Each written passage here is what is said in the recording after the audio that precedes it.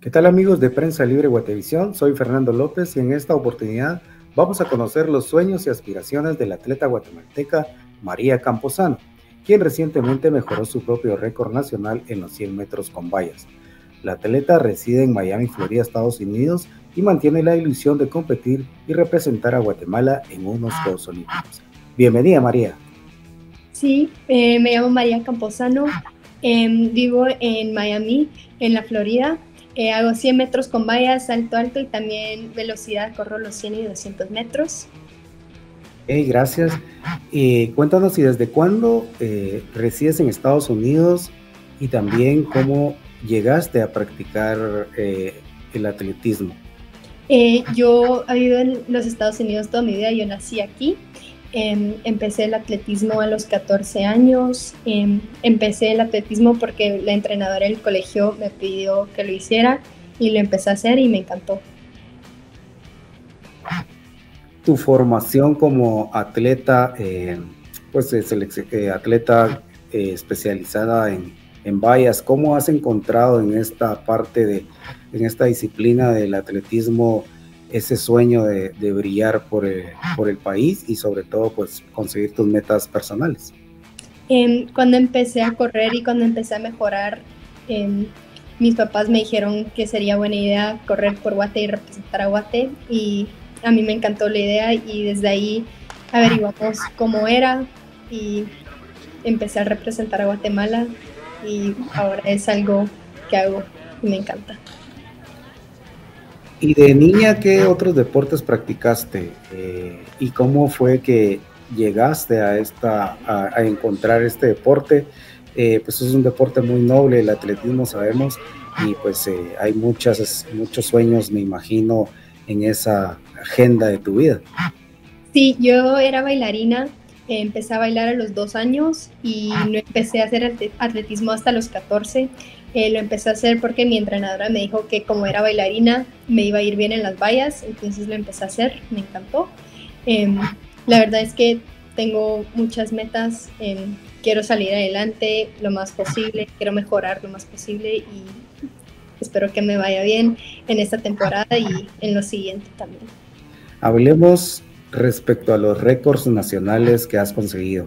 Actualmente, cuáles tienes y pues cuáles son tus aspiraciones en este tema de, marcas nacionales eh, y marcas personales.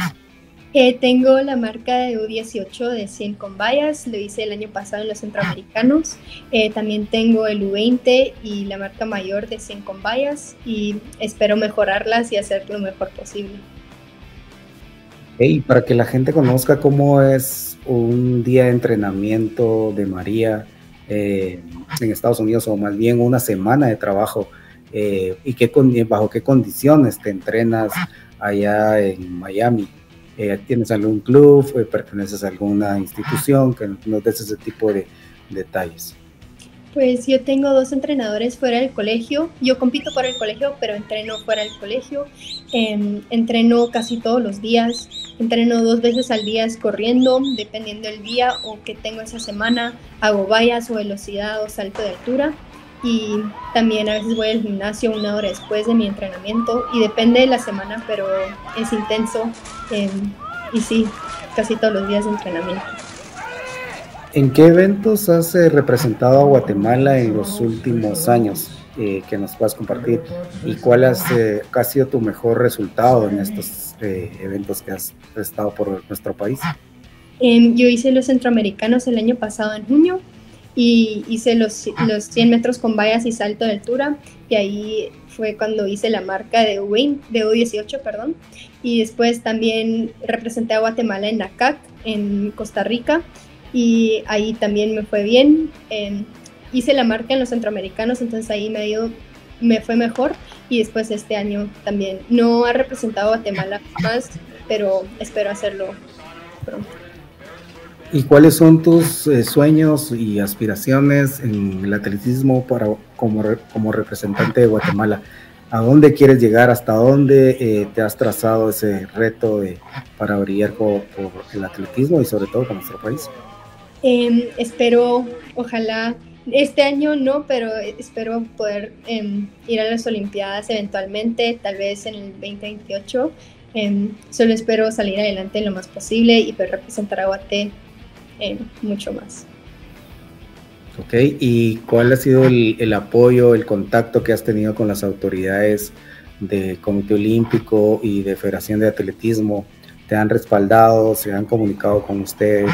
Que nos cuentes esa, esa parte. Sí, em, la Federación de Atletismo de Guate se comunica con mis papás y le dan toda la información necesaria em, para que nosotros nos estemos informados de todo lo necesario.